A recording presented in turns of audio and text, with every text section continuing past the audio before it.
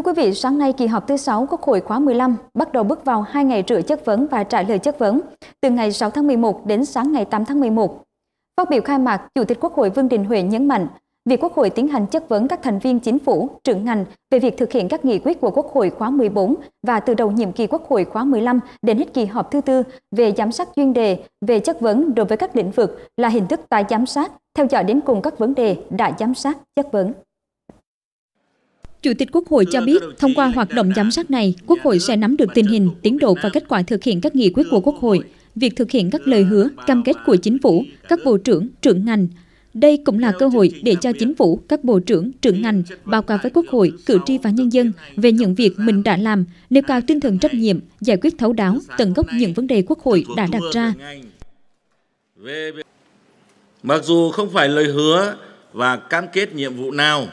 cũng có thể giải quyết nhanh chóng, có thể làm được ngay. Nhưng Quốc hội, cử tri và nhân dân có quyền được biết về tình hình tiến độ thực hiện và quan trọng nhất, những gì đã hứa trước Quốc hội, cử tri và nhân dân, những nhiệm vụ Quốc hội đã giao thì cần phải được hoàn thành. Đồng thời, thông qua hoạt động tái giám sát sẽ khẳng định rõ nét hơn một Quốc hội luôn đồng hành cùng cả hệ thống chính trị nhằm tìm ra các giải pháp phù hợp sát hợp với thực tiễn, hiệu quả và khả thi để tiếp tục thúc đẩy đất nước phát triển nhanh và bền vững.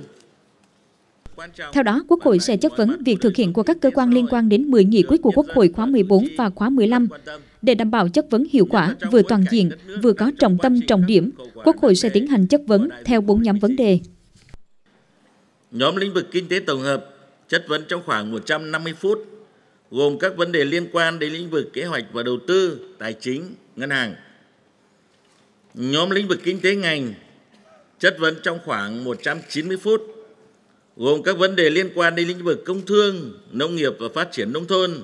giao thông vận tải, xây dựng, tài nguyên và môi trường. Nhóm lĩnh vực nội chính và tư pháp chất vấn trong khoảng 180 phút, gồm các vấn đề liên quan đến lĩnh vực tư pháp, nội vụ, an ninh trật tự, an toàn xã hội, thanh tra, tòa án, kiểm sát và kiểm toán. Nhóm lĩnh vực văn hóa và xã hội chất vấn trong khoảng 190 phút, gồm các vấn đề liên quan đến lĩnh vực khoa học và công nghệ,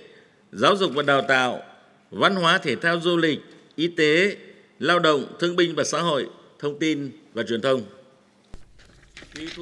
Chủ tịch Quốc hội nêu rõ, qua chất vấn lần này, trường hợp thấy cần thiết thì sẽ kiến nghị Quốc hội xem xét quyết định việc tổ chức giám sát lại theo luật hoạt động giám sát của Quốc hội và Hội đồng Nhân dân để tạo chuyển biến căn bản, thực chất trong từng lĩnh vực được chất vấn.